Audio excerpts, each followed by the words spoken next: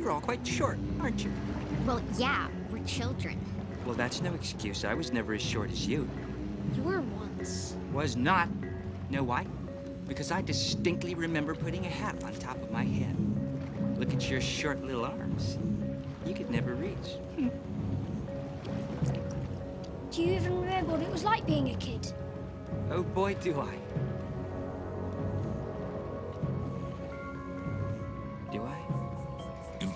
Willy Wonka hadn't thought about his childhood for years.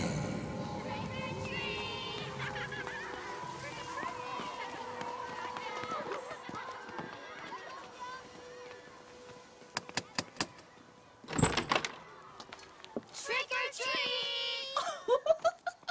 Who do we have here? Ruthie, Veronica, Terence. And who's that under the sheet?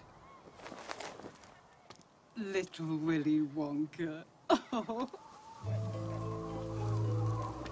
Willy Wonka was the son of the city's most famous dentist, Wilbur Wonka.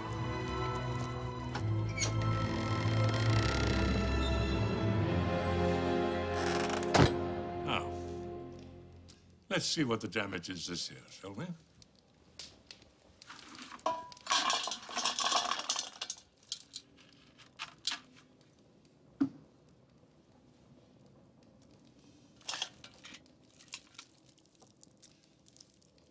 Caramels. They'd get stuck in your braces, wouldn't they?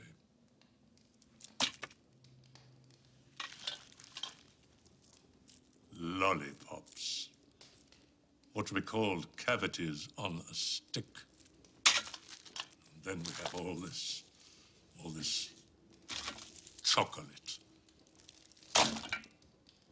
You know, just last week I was reading in a very important medical journal that some children are allergic to chocolate. Makes their noses itch. Maybe I'm not allergic. I could try a piece. Really? But why take a chance?